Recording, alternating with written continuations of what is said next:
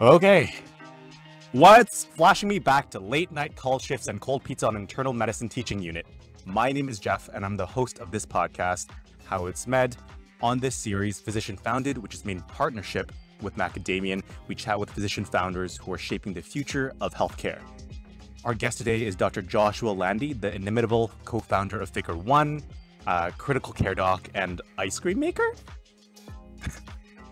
yeah, you got it.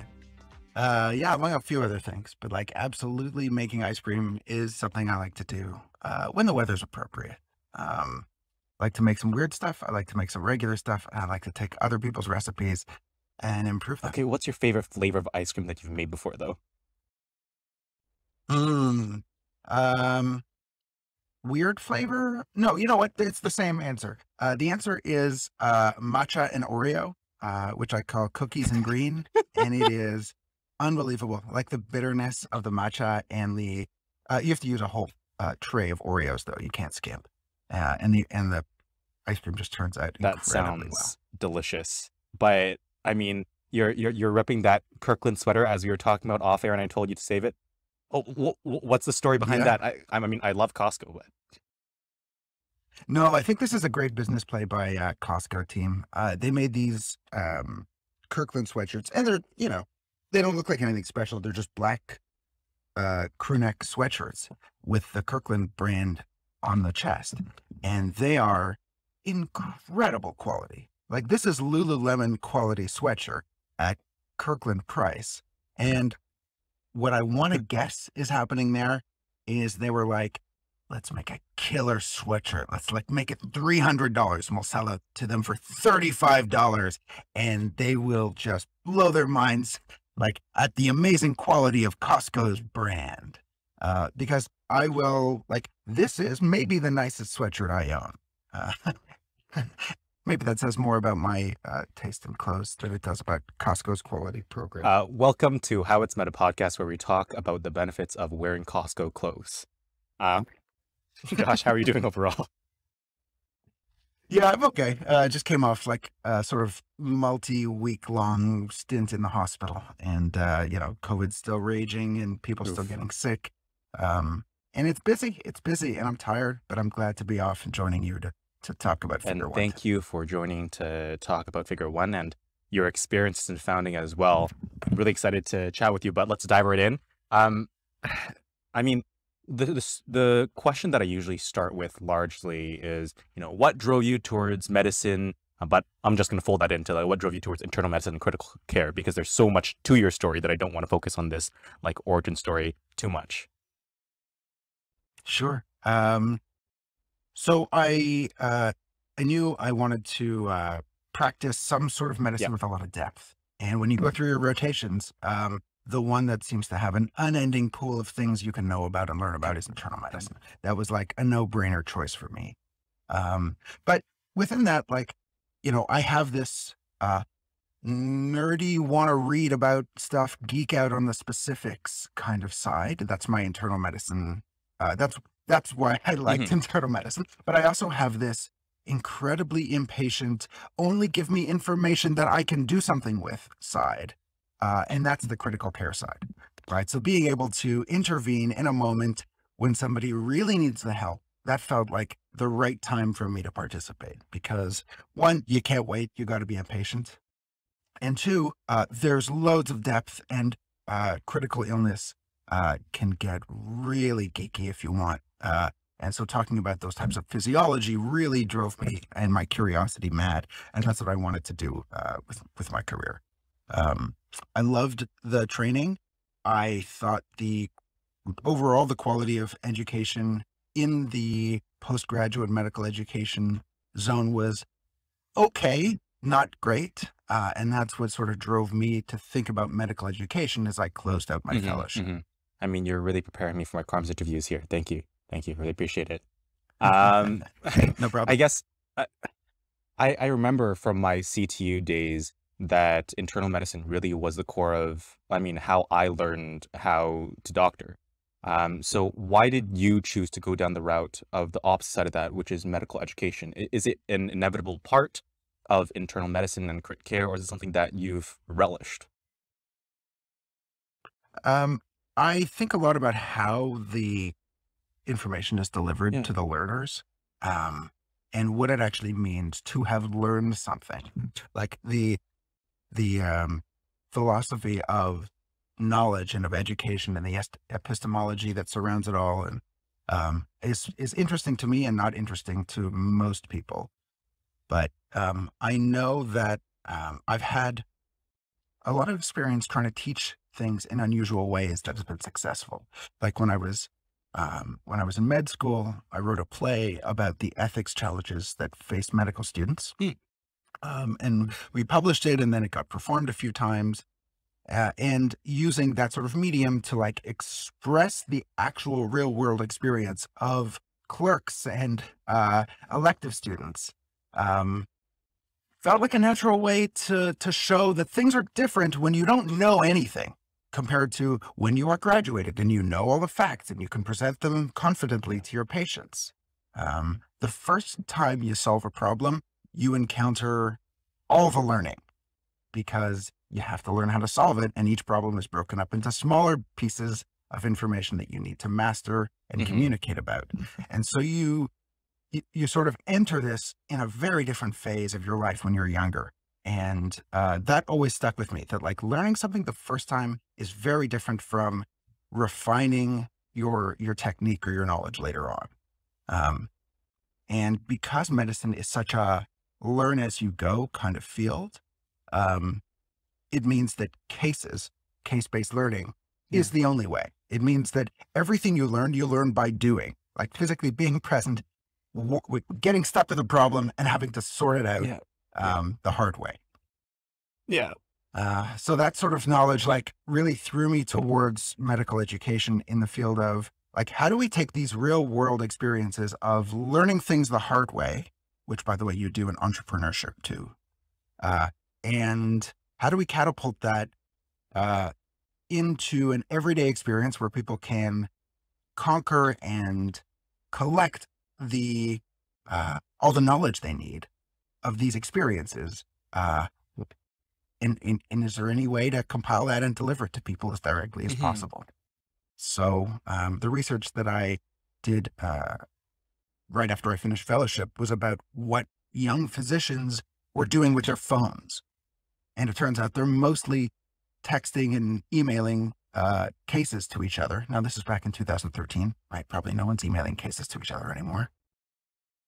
But that that asynchronous behavior of, hey, I saw this ECG, it looks weird. What's what's going on here? And you text that to your senior, uh, or you're in a group chat with your attending, and they go back and forth, and you learn about, oh yeah, that's okay. If I see, you know, this particular PR segment elongation with inverted T waves, right? And now I'm thinking about pericarditis. And now all of us have seen that ECG, and the group learned from your experience of not knowing something. Um, so being able to package that concept and say, take all the cases from anyone who's seeing cases and has pictures of them on their phones and describing them to others. Uh, that is what turned into uh, Figure One, uh, which is a case sharing platform for mobile devices. That's fascinating. I was you actually s- stole my oh, my my cat just walked on the screen. Um, that just that really I guess sets the scene for where this all grew from overall. But Figure One has grown so so much since then. So I mean, there's a huge gap between understanding that people share information on their phones on medical teams and building a startup out of it. So, how did these ideas fold into the founding of a startup, or what were the circumstances or people that you had around you that allowed you to actually act on this need that you noticed? This is great. I'm so glad I get to tell this story.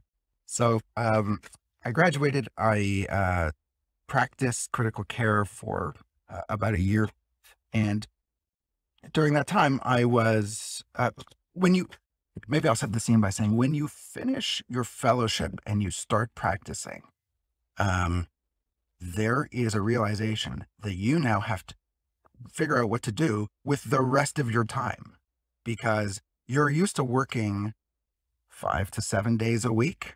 And those days are not, right? Those aren't eight hour days. Those are 10, 12, 16 hour days. And when you graduate, if you're a critical care doc, you get a week of work. And then a little later, you get another week of work. And then a little later, you get another week of work. And you are sitting at home wondering, what the hell am I supposed to do? I, I've got the next two and a half weeks off. I've never had, like, I've never had a break that long since second year med school when I took a research job instead of relaxing in the summer. So um, you need to figure out like a whole new set of time management. Now, this, you know, you can open a clinic and just work yourself every day if you want. Um, but if you've got other stuff to do, like, I don't know, like learn a choreographed dance from a music video that you liked, or watch all three Matrix movies. I guess there's four now. Uh, or like watch all seven Terminator movies. Yeah. Like you need some time. So you got to devote yourself to your passions, uh, is what yeah. I'm saying. I just, anyway, so I had this time and, and me and my buddies were starting to figure out some things we could do. And one of the things we could do is we could trade stocks and we could get a little group together to talk about it. And we thought, well, maybe we could formalize this and make it into like an official stock trading discussion group. And so we did. And we did that for a few months until we realized it was illegal. And then we had to we had to turn it off. We had to give everybody their money back. Um, in it, you know, it, you know, just in full honesty, they uh, changed the law while we had built the group, so it wasn't illegal yeah. when we started. And then, like a few months in, it was like, actually, guys, you got to not do this, and so we had to disband. But in that time, I had come home from uh, this research position uh, at Stanford, where where we had studied these things that mm-hmm. prompted the idea of being able to share medical cases. And we were just going over the balance sheet together, me and my friends, and um, we were talking about what we were going to do as we disbanded this group, and what other sorts of businesses did we wish we could invest in. And we got to talking about possible startups, we got to talk about different kinds of technology and I mentioned this idea and it was sort of one of those diner moments where everybody in the diner is quiet and you can hear the cutlery clink on the plate. Uh, and they go, Oh, that's a pretty good idea, actually. And I was like, Yeah, but like, there's lots of good ideas. And one of the guys at the table says, Well, I could probably build something like that, like a prototype type thing in a few weeks. Uh, and he had just finished uh, working for a large uh, Toronto-based startup that was uh, uh, sold to a Japanese conglomerate. So he had a bit of time on his hands.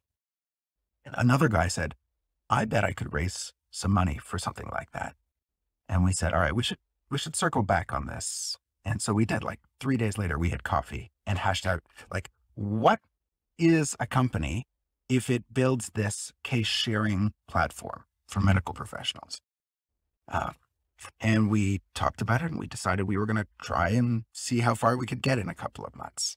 So we all sort of split up, um, did our own little jobs. And then by the time January rolled around, we had a prototype that we had shown to friends and family. We had a few hundred thousand dollars that was raised by those same friends and family, uh, including some of my colleagues. And um, we just started the company. We hired we hired somebody to to help build our website and apply for grants. We hired somebody to help write the code that we needed to do. We hired some lawyers to help us sort out all the privacy situations about what it means to share medical cases in a privacy safe way. How do we protect those privacy um, elements? And then we waited till all the legal stuff was worked out. And May 2013, the app was in the App Store. That I mean, you, you said that you had helped write a play before, but you could totally write a screenplay out of this. I, I truly believe that. um, or you're just a very, very, very good storyteller, or both. But, um, you know, just talking about that journey from that point, the startup to where you are now, like, what are the biggest challenges that you and perhaps your team faced in growing such, like, such an enterprise? Mm, um, there's like a million challenges. And I don't want to gloss over the hard ones in order to tell you about the easy ones so I can look super successful. Um, but I mean, in truth, one of the hardest parts is getting people to try it out because you, you know, you might approach people with your idea and say, Hey, we got this case sharing app for mobile devices. And uh, they say one of two things. They say, oh, that, that is a good idea. Or they say, oh, yeah, I thought of that too. Like, okay, well, like, where's your app? Um, but to convince people to actually download it and try it out, especially when it's brand new, um, not everyone in medicine, in fact, I'll say almost nobody in medicine is a true early adopter. And so I think this is, um, you're, you're tilting your head because I think you maybe see yourself and maybe your colleagues as early adopters. Um, um, I was going to um, ask why is that, but I, I, I'm answering that in my head right now, but I'll let you speak. no, I, I, mean, I think the answer is that uh, in healthcare, in uh, in medicine, in hospitals, and in universities, uh, the mindset is around uh, safety and consistency and not around innovation and uh, rapidly iterating and changing scenarios. And I think that's part of why healthcare has uh, a safety reputation to uphold is they move slowly so they don't make any mistakes. Because in business, you can make tons of errors. And in fact, you're probably supposed to in order to get stuff right quickly. But that's not the case in medicine. You can't just like go around trying a bunch of things to see what works. No, you got to use what you know works. And by the way, if you use stuff that you know doesn't work or you don't know if it works or not, but you had a good alternative, you know, you've done a bad job and you're going to get in trouble. Yeah, that's fair enough. That's fair enough. So, yeah, so I think that's why. I mean, it's not a natural fit. Like innovation in healthcare are not a, they're not a great fit. Um, but of course, you know, research keeps going. Like academic research uh, takes somewhere between seven and 17 years to take a discovery and turn it into a product that's out in the marketplace. But when you've got this idea in September and you want to make it an app before November, right? You, you can't go through the, like, I do, you don't have time to do that kind of research. I mean, the mobile wave would have been over mm-hmm. if we waited that long. It's only been, what, nine years since we started the company? We could still be we can still be writing the papers for the initial research if we went at the same pace as uh, academic innovation. Yeah. Yeah, I mean, I've asked this question time and time again with regard to academic innovation, um, and there there have been a lot of different answers. Some people in the medical device space have said, you know, do your academic research to build clout so that you're able to work your way into a role as a CMO, et cetera. But it seems like your way of doing it is just if it's for example, a community-based, teaching-based solution, then perhaps going the regular route is too slow. I mean, yeah. I think that's true. It, it, would have been certainly for me and for my yeah. level of patience. Um, but, you know, it depends what the solution is. Our goal was to avoid invoking uh, the type of um, research and um, I don't know. Uh, we wanted to avoid spending so much time doing any of these things. And so we said, we're not going to sell to hospitals. We're going to put this app on the phones and in the hands of providers because they're just going to be able to download it from the App Store. Um, but sales cycles to uh, academic institutions can be years long. Um, procurement was something that one of my one of my co-founders, his family had gone through so many procurement cycles because his family's business was building tools oh in healthcare. And he oh said, you know, when he decided he, when he just, when he went to business school, he said to himself, I am never doing a healthcare startup ever again. And then it was like the first week he had finished school and I was like, figure one? And he was like, all right, figure one. but, but, you know, it was on the agreement that we were going to put this in the app store. We were going to put this in the hands of providers so people could adopt, adopt it rapidly because we didn't want to go through those procurement cycles mm-hmm. or those sales cycles or the academic cycles. You show this to 20 people, it works. You share a case, you see them talking about it, and it works. That's the job. The job is to talk more about medicine. What pushback did you face? Because I know you mentioned some people are like, oh, you know, I thought of that already, um, etc. But I think emotionally, one of the hardest things to deal with is a, a, a lot of the criticism that you can handle but criticism may just be passionate disagreement in some form that can actually help you grow your startup. But back to the point, what was what, what were some of the criticisms that you faced early on that you had to deal with? Um, well, uh, the privacy one was one we knew we okay. were going to run into, and so we prepared heavily so that anytime uh, I was doing press for the for the app um, or for the company, we would we would we would set it up so they would ask us about privacy in a way that maybe they would feel like they were about to get the upper hand, but it was a trap because we had built our app with privacy in mind. I mean, we, literally, uh, the process we used was called mm-hmm. privacy by design, and it meant that our servers could be hacked, our everyone's app could be compromised, and still no private information would be available. Um, this is all on my uh, co-founder's brilliant uh, suggestion, something that he discovered in his years of professional communication working at the UN, that um, the best way to keep a secret is not to know it. So we just said, all right, no privacy information on this app at all. We don't want names. We don't want case numbers. We don't want birthdays, anything that could potentially be similar to a HIPAA violation. No unique jewelry, no tattoos. And this was like, these are, uh, you know, in 2015, this was rigid privacy um, because there wasn't a lot of innovation in the space. So creating a tool like this and sort of saying, yeah, we'll go first. We'll try it out. Um, meant that we had to be really strong in privacy. So that was something that we faced early on. Um, and we just, you know, uh, prepared our defense and led people into uh, into asking us the questions so that we could appear strong in our responses. That's really interesting. I mean, I think a lot of that must have taken coordination between your team members and yourself with the skill sets and insights that are unique to who you all are or were as individuals. So it kind of leads into my next question which is what roles um, did you play and what roles did you not play or were delegated to your teammates? Because as physicians, it's easy to say, I, I, I want to try to do it all, but you, you can't. Yeah. Yeah. Um, and physicians, by the way, are particularly bad at this. I've seen a number of physician run startups where the doc's like, oh, I went, I'm smart. I have people skills. I can do any of this. Um, I think that's a problematic assumption because uh, you can't. Like you literally can't do everything on your own. You need a team and you need to be able to trust your team. Now, that said, like at the beginning, we were a team of three people. And then kind of quickly, we were a team of five people. But that's not a big team. Like that's a team you can get your arms around, uh, literally and figuratively. Uh, and you can, uh, you can you can sit down and say, how are we going to deal with this problem? What, what, what pieces of this, can I give you this part of my job? Uh, can I take away this part of your job and do it myself uh, so that you can take on something else?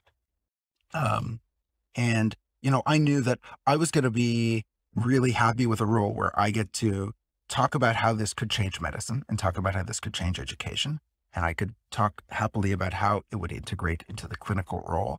And I would happily do all of that uh, with um, improvisation because, you know, I had had like, I, you know, I, like in university, I was a bit of theater kid and I did a bunch of like, you know, acting and improv and like this writing and I directed a bunch of stuff. In fact, my co-founder, uh, he was a, he was a playwright before I was. And, uh, I produced and directed several of his plays I, as an undergrad. Um, so we were friends from yeah. like summer camp way back. Um, but sort of we, you know, so we had, we had already had a kind of working relationship where he was going to be the one who sort of drew up the plans for how the whole thing was going to go. And I was going to get to embody it or envision it or create it. Uh, and then, so this was sort of a recapitulation of that same dynamic with the added benefit of having a technical co-founder who's now one of my closest friends, who was able to advise us on this works, this doesn't work. Uh, when you want to build it, you have to be careful of this. And privacy in technicality means this. And so when you're talking to the press, uh, you know, or investors, to be honest, you know, you throw in a term from here, you, you add something that you learned, you throw, you know, you pass it to your teammate when you're, when they're ready to talk about their piece. Uh, and the whole thing feels a bit like, I don't know, some sort of intellectual sport almost. That's fascinating. Huh. I mean, okay, so you you mentioned there that your role was essentially, to some extent, evangelizing how Figure One could change medical education. Um, you've said before that you continued your role in medical practice when you were running Figure One. Um, did that help in what you were doing? And how did you, I guess, balance both a medical career plus helping run a startup? Because both of those are considered full time jobs. yeah, that's that's for sure. Um, I was really tired. I was really tired. Like I would finish a shift, you know, at 8 a.m. and then I would drive home, hop on the subway, and go downtown to the startup office where I would work for a couple of hours, fall asleep in my chair for a couple of hours, then work for a couple more hours, and then go home. Um, it was uh, it was kind of challenging sometimes. Um, but to like to answer your question, I I really did struggle with that balance, and I still do even today, um, because what I don't want to do is become an annoying colleague at work to the people I work with in my um, clinical job by telling them, you know, download my app, try this out. Uh, can you, you know, can you give me feedback? Do you have 20 minutes to be in a user interview session? Um, you know, and you end up asking the same 30 people a hundred times, you know, in the space of a year. Um, I just didn't want to pretend that my app was a success before it was successful. And I wanted to make sure that I could I could keep my clinical arena um, available in case Figure One mm-hmm. didn't work out. Um, because a lot of folks in uh, in startup uh, they endeavor to leave their clinical yeah. practice, and that happens sometimes way too early. Um, and if you are if you leave, it's really tough to come back. Um, you know, both license wise, depending on how long you've got, been gone, but also reestablishing the connections, getting a job, uh, having people like refer you patients if if you practice, uh, if you have an outpatient practice. I mean, um, so you know, I wanted to go around and evangelize the use of Figure One throughout the the hospital that I worked at, uh, but I, I, you know, I told people about it, but I, you know, I didn't ask if we could like put a table in the cafeteria and hand out T-shirts. You know, maybe that was an error. Maybe we would have more users now if we did that.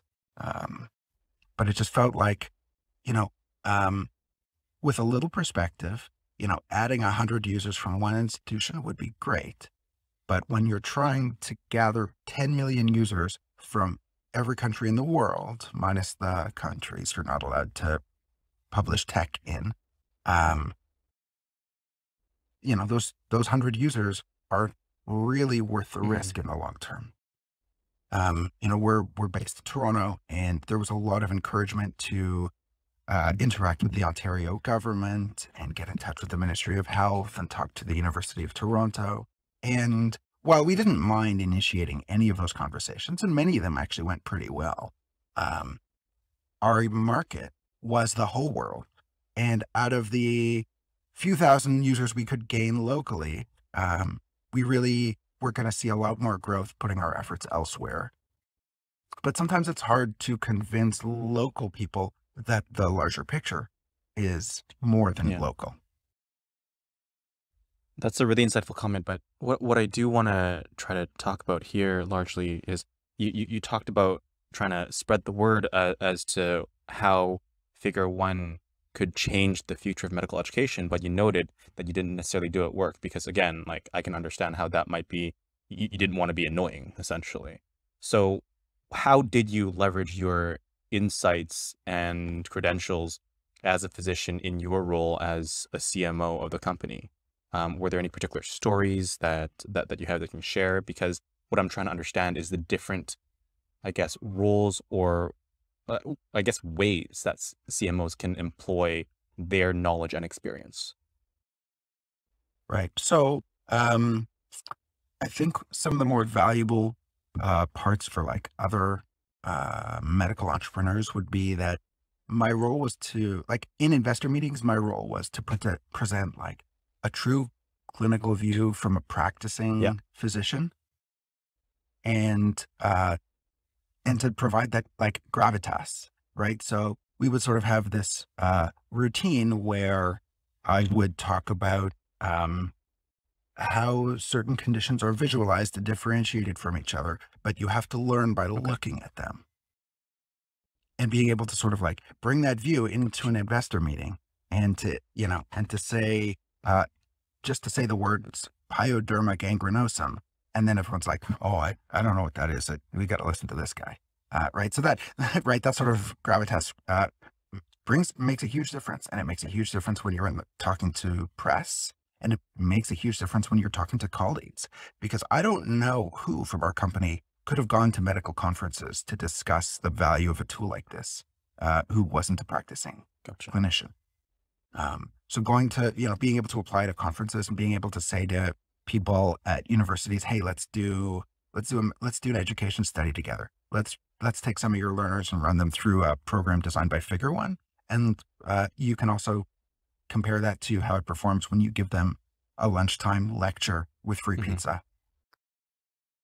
Like you're not going to be surprised to hear that, that it works better when people are engaged on their phones than it does uh, to have people disengaged in a lecture hall. So being able to like make those approaches and make those partnerships and uh, speak to your colleagues, like from other institutions on a level uh, and with the vocabulary and the, the, I don't know, that sort of like instant trust you get with another person of the same profession. Um, do you, do you know what a, a shibboleth I, is? I, I see it in my in my in my uh, you know, search tab when I go to the UBC website, but no, I don't. I think that's the name of a, a, a, tech product, but it's it's named after um, it's a biblical reference. But the the story is basically uh, that um, you would have to pronounce this particular word in a particular way to be known to be part of a particular hmm. population. And um, and if you didn't pronounce it right, they would know you were outsider. And more or less, that's what it's like when you talk to colleagues. Uh, someone calls you and says, you know, can I talk about a patient?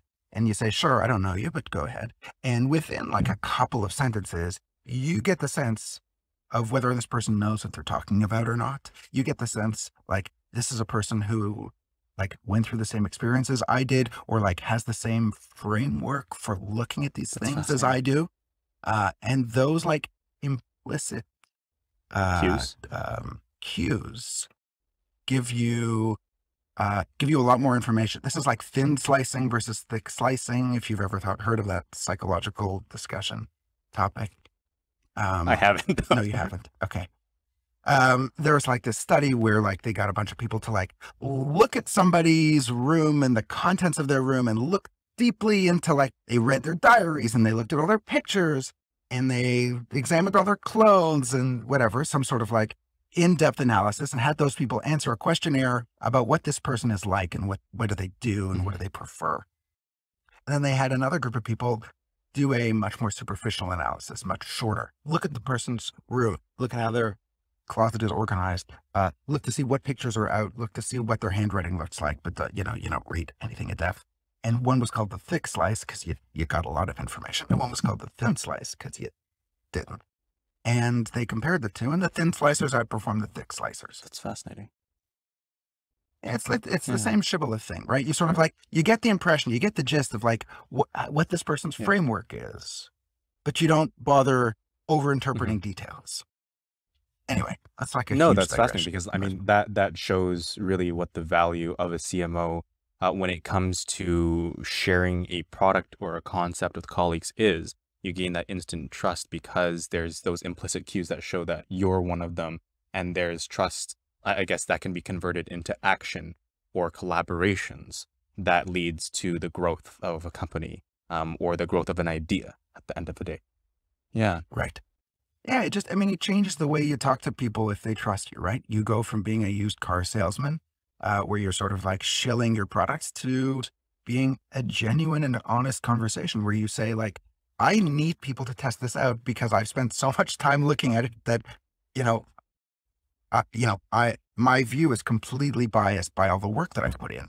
Can somebody please look at this and tell me if you think mm-hmm. you'd use it? And with a, with a plea from a colleague who you understand, who seems like they know what they're talking about, you're going to get a lot further than somebody who says, try this app. It's going to change the future. Ready, set, go or like I don't know, whatever people say. Um, so I mean, we've talked a little bit about the interactions that I mean the the interactions of roles that you you had with your that you shared with your different team members, but we haven't really talked about the the hows of the growth of Figure One. Mm. So I read that you went down the incubator route. Um, can you detail that experience in a bit of depth so that um, I guess the audience can understand what that was like and why you made that choice? Sure. Um, we joined an incubator because th- this was uh, in a maybe a different phase of Mhm. startup life where uh, incubator the the incubator we were in offered funding as well, and they offered free office space. And that's not always the case. Now sometimes it's just like they offer you business education, but you self you have to pay for your own office space, and that's it. Um, and we did that for first five or six months. I think they gave us six months of free office space and then quoted us a rate for afterwards, which was like it was cheap office space. We could have stayed there. Um, but my my colleague, my co-founder, the CEO, said, "No, we got to get out of here as soon as possible. Like the goal of being incubated is leaving, right? Um, and so it was it was unthinkable that we would want to stay in that environment because we had we had shit to do. Like you gotta get out there and, and like sell your app. You gotta build it. You gotta support your platform. You have to evangelize it.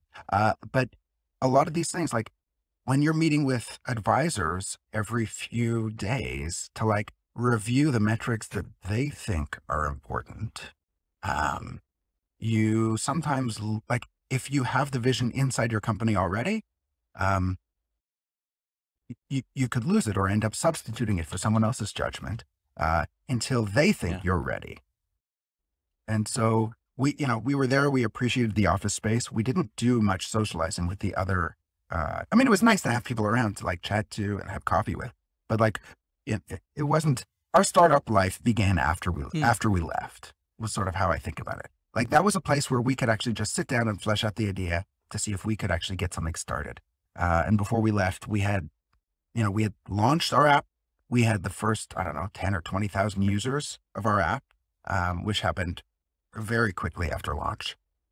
Um, but beyond that, we didn't, we didn't stick around. And that's the advice that I give to every startup that I meet with now as an advisor to uh, nearly the very same incubator we were in. Um, like stay here only as long as you need to and then get out because your job is to find a way to turn this company into a business, which means you have to be able to support yourself financially. You have to be able to complete sales cycles. You have to be able to launch and ship features and you have to do it fast and you have to do it on your own. Um, because once you get a little bigger, uh, no one's going to tell you what to do. You just have Mhm. to figure it out. So to summarize that, correct me if I'm wrong, an incubator for your team was kind of like a safe harbor from which you could grow. But that safe harbor by definition was limited by the space, not only like in terms of actual space, but also the space of ideas um, that that it had, and you needed to expand or move out if you wanted to ever grow Figure One beyond a startup that lived in an incubator space. Yeah, yeah. I mean, that's that's not a bad summary. I mean, I, I definitely um, could use more summarizing. Uh, um, I think that's right. I mean, your goal is to be independent, so get independent as Yeah. early as you can. That's really, you know, your goal is to be successful. Get successful as early as you Mhm. can.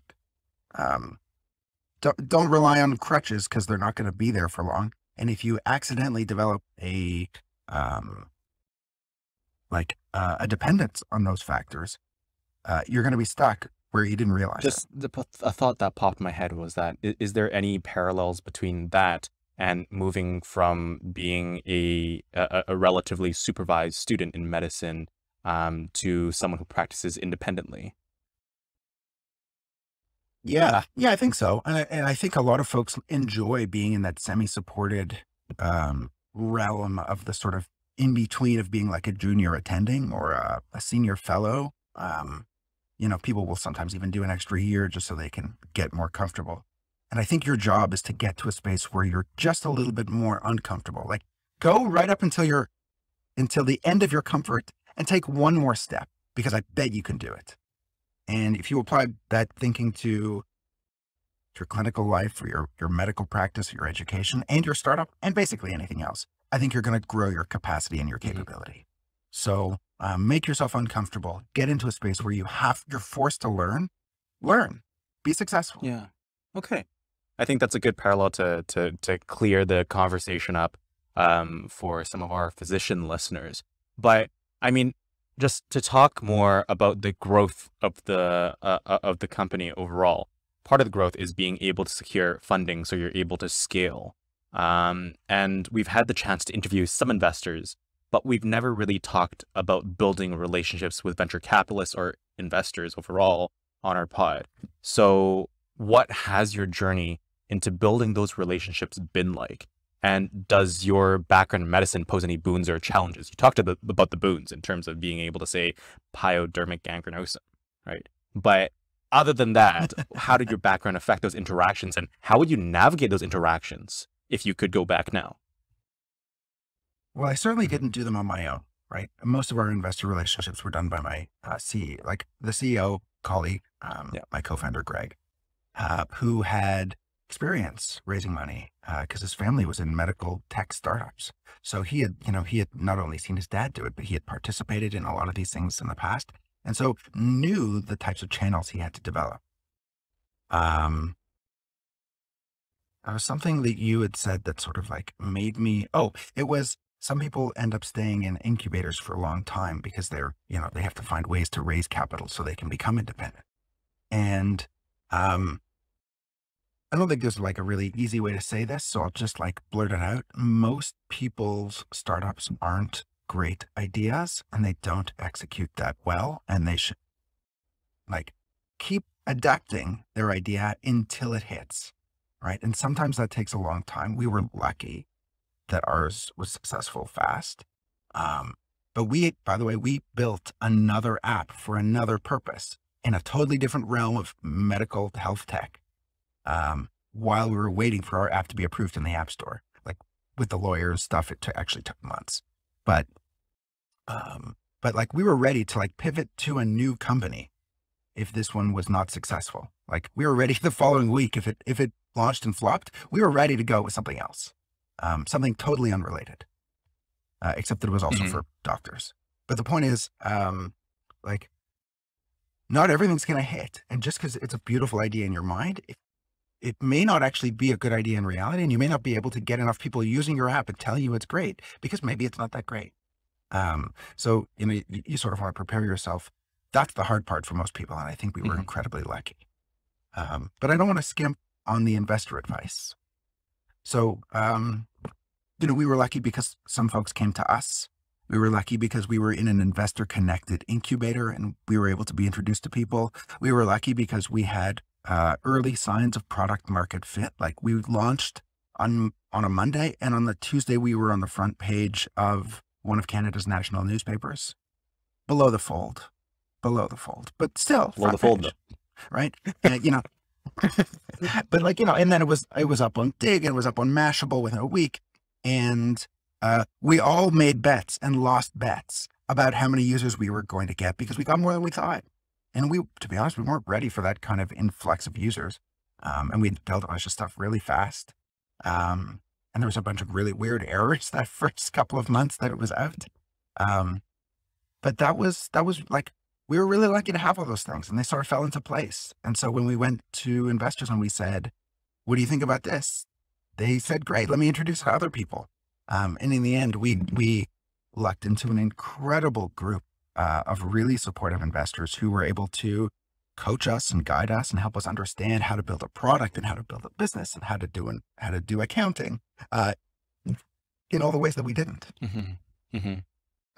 I mean, it, I think that world in itself seems so far detached from the world of medicine overall. Did you have any apprehension walking into those rooms with the venture capitalists, with the investors at any point in time?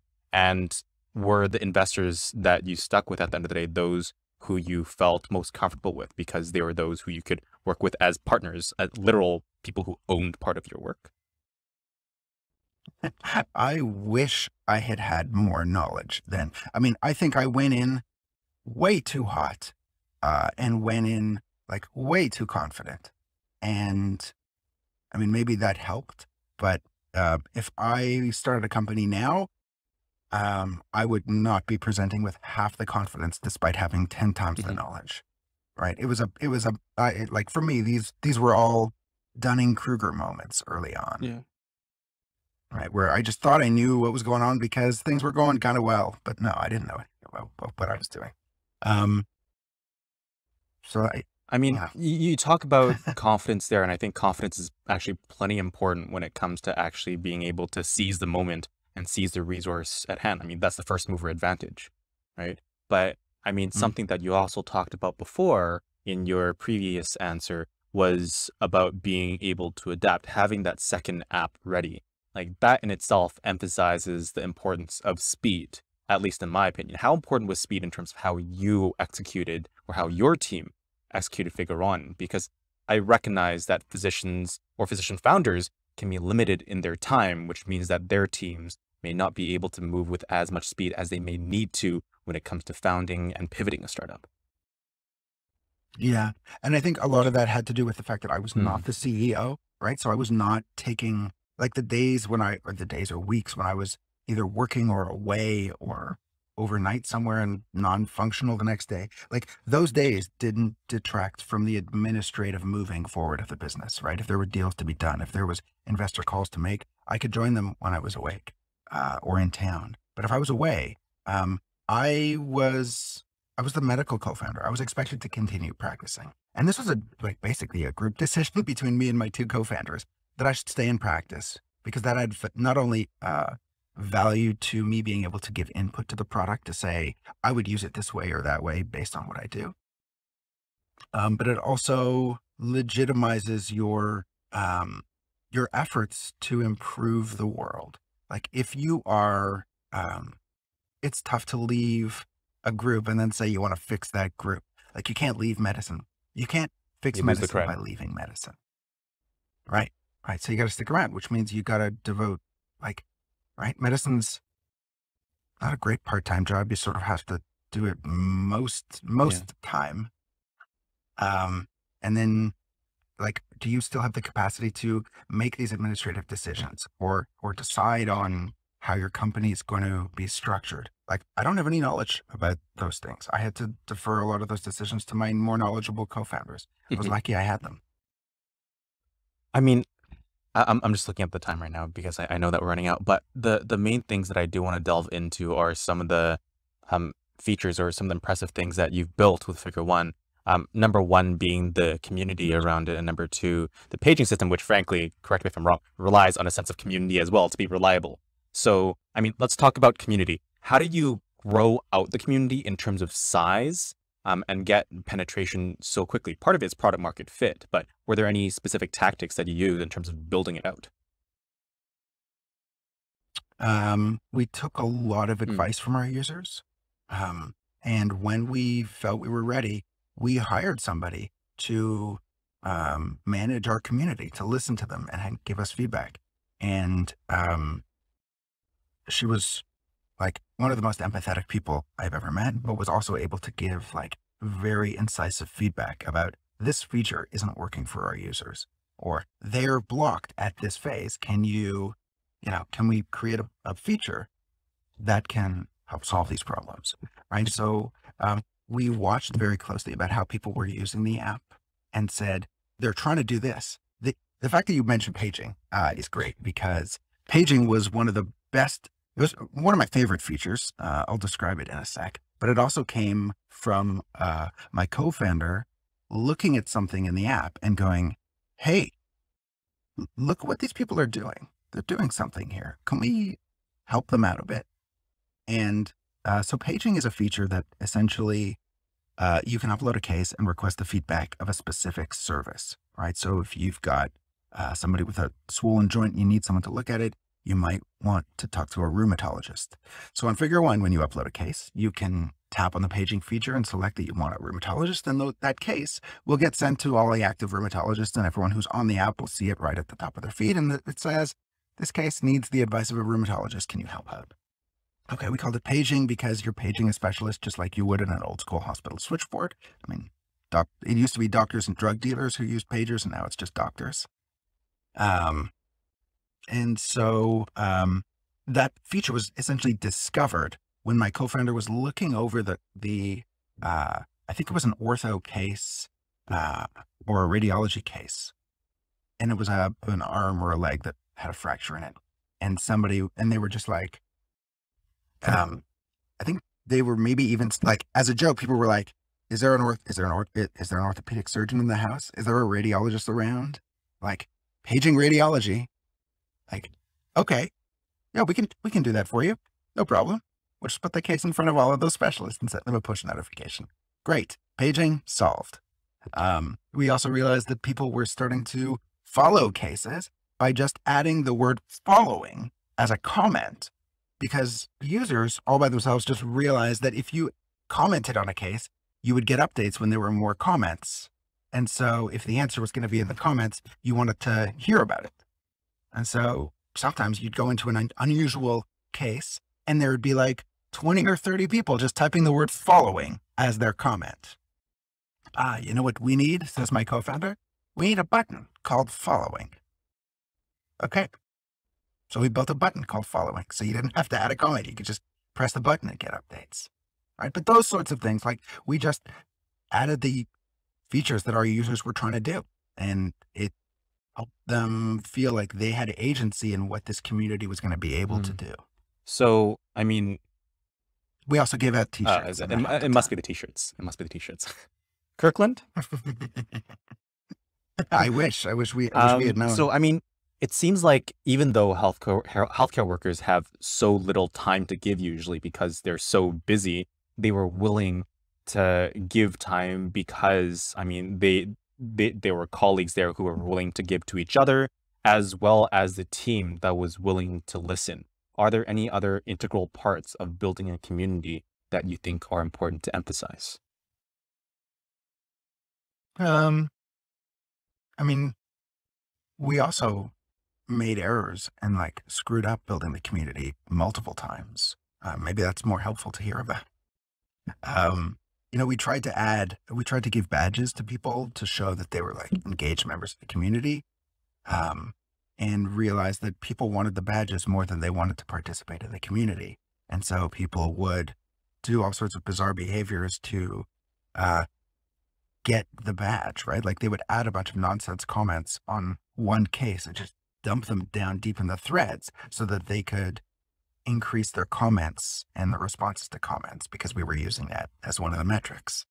So, you know, we changed the algorithm for what it meant several times and a bunch of people lost their badges and then a bunch of people got super mad at figure one for like all of this what they felt was a huge mess I mean, if you look at the app, like even at, at a small distance, you saw no meaningful change to the way the conversations were happening. But now we've identified what we thought were like our, you know, 100 or 200 most engaged users.